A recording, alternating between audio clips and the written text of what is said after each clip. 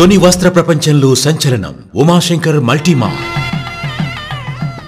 పెళ్ళి పవిత్రం పట్టు ప్రశస్తం మీకోసం ప్రత్యేకం. మీ ఇంట జరిగే వివాహ వేడుకలకు నమ్మకమైన నాణ్యమైన స్వచ్ఛమైన వస్త్రాలు అందిస్తున్నాం. పెళ్ళి పట్టు చీరల ప్రత్యేక నిలయం ఉమాశంకర్ మల్టీమా. జీవీఆర్ ప్లాజా పెద్ద వీధి తుని.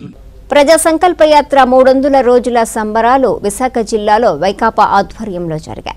ఇందులో భాగంగా మాజీ ఎమ్మెల్సీ డివి సూర్యనారాయణరాజు ఆధ్వర్యంలో కోటబురట్లో జరిగిన కార్యక్రమానికి ముఖ్య అతిథులుగా వరద కళ్యాణి మాజీ ఎమ్మెల్యే గొల్ల బాబురావు హాజరయ్యారు. సీనియర్ నేతల సమక్షంలో కేక్ కట్ చేసిన టీవీ సూర్యనారాయణరాజు అనంతరం బైక్ ర్యాలీని ప్రారంభించారు. బహుదూరపు పాటిసారి జగన్ ప్రజాపక్షాన నిలిచిన అలుపెరగని పోరాటం సాగిస్తున్నారని నేతలన్నారు. ఈ కార్యక్రమంలో పార్టీ నేతలు చిక్కాల రామారావు ధనిశెట్టి బాబురావు మేసం రామకృష్ణ తదితరులు పాల్గొన్నారు. చేయాలనేటువంటి ఒక మంచి సంగతి ఈ రోజుకి మూడు వందల రోజులుగా జగన్మోహన్ రెడ్డి గారి మీద ఎన్ని కుట్రలు కుతంత్రాలు పన్నుతున్నారు? పాదయాత్రను ఆపేర్చడానికి ఏ విధంగా ప్రయత్నిస్తున్నారు మనం ప్రతిరోజు కూడా చూస్తూ ఉన్నాం.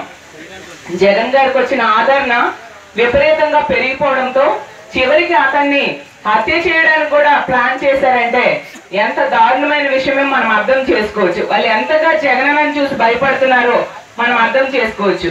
అలాగే దానికి ఒకటే ఉదాహరణ నిజంగా ఈ హత్యాయత్నం వెనుక చంద్రబాబు నాయుడు గారు ఉన్నారు అనడానికి సిబిఐ విచారణ మనం డిమాండ్ చేసిన వెంటనే సిబిఐ మన రాష్ట్రానికి ఎంటర్ కాకూడదని చెప్పి ఒక ఏకంగా జీవోనే రిలీజ్ చేశారు చంద్రబాబు నాయుడు గారు. అంటే వ్యవస్థల్ని తొక్కి పెట్టేసైనా ఈ కేసు నుంచి బయటపడదాము. తన మనుషుల్ని బయటికి తీసుకొద్దాము. ఇలా ఎన్ని కుట్రలు పని